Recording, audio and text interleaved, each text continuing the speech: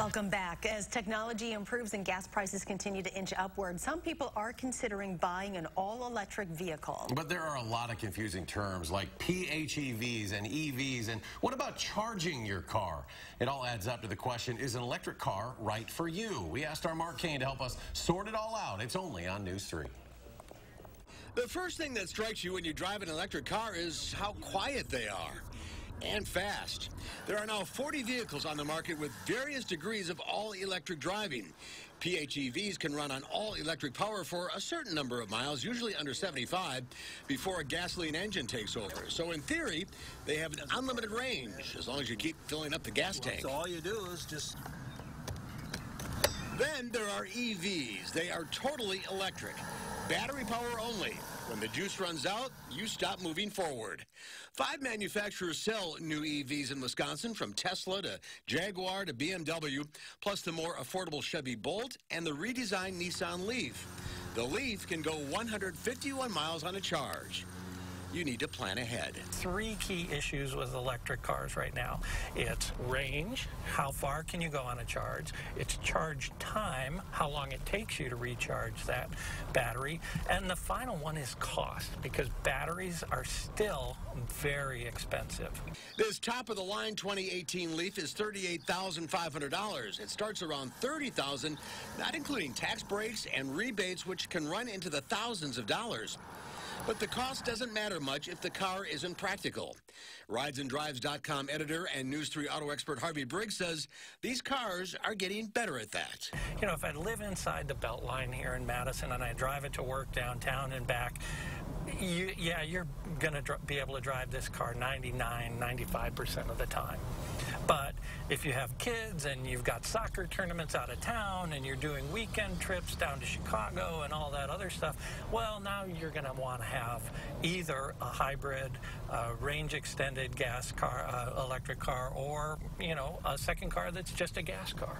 Madison Gas and Electric has a new Chevy Bolt, the one with the use no gas license plate. It gets 238 miles on a charge connect it. And car beeps? Car beeps. And this lights up to show you you're charging. Couldn't be much easier, could it? It's very easy. Debbie Branson is the voice behind MG&E's EV Rider program.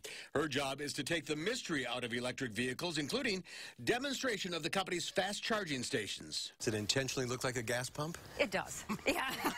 that makes people feel better.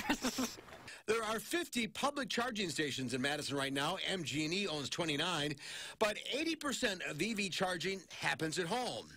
You could just plug your car into a standard outlet. If you've got like an all-electric, like this is a 60 kilowatt hour, so that could take you 50 hours on level one.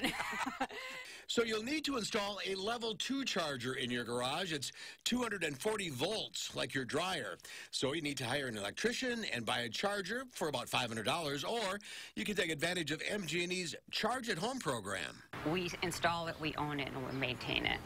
So for customers, if they're a little like, what do I need to do? How much does it cost? This is a way for us to kind of manage the whole process from start to finish. And then they pay about $20 a month. Then they have, but plus they have to pay the cost of electricity. Which off-peak is 10 cents an hour if you sign up for a special program. That's about $2 a charge, 50% cheaper than gas right now. That's appealing to a lot of people. And we've moved from the early adopters who are buying it really because I think they like the technology, they found it interesting, to mainstream drivers that just like people like the look of a Tesla. They like that it's fast. If you're going to buy a new vehicle, it's another option to consider. You just need to think about how you're going to charge it instead of going to the gas station. And how you're going to drive and where you have to drive. Right. It's just modifying one's behavior.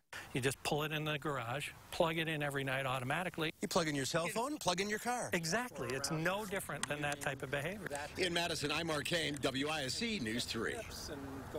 That's pretty interesting. And then more and more businesses are installing free chargers for their employees, and some area businesses also provide, provide free hookups. Otherwise, MG&E charges $2 an hour at its charging stations. You can learn more about EVS and the location of charging stations in Dane County at energy2030together.com slash EV Rider. All right, let's get to Gary now.